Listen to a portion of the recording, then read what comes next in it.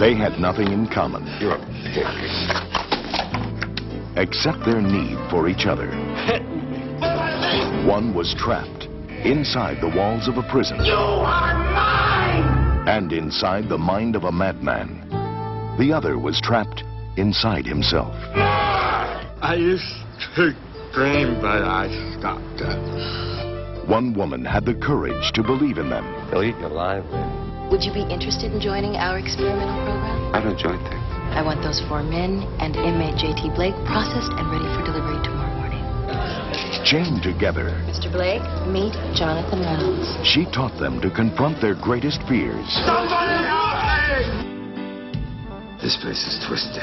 It's okay to care about what happens to someone else. How do I do that? By not running. You know, you look pretty good. I did it myself. But out for revenge, he was determined to shatter her plans.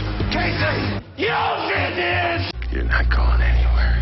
Never before have two people with so little in common found so much to share. Uh, Ginger Lonnie, I'd like you to meet my best friend, John. Academy Award nominee Brad Dourif from One Flew Over the Cuckoo's Nest and Mississippi Burning. Michael Ironside, star of such box office hits as Top Gun and Total Recall.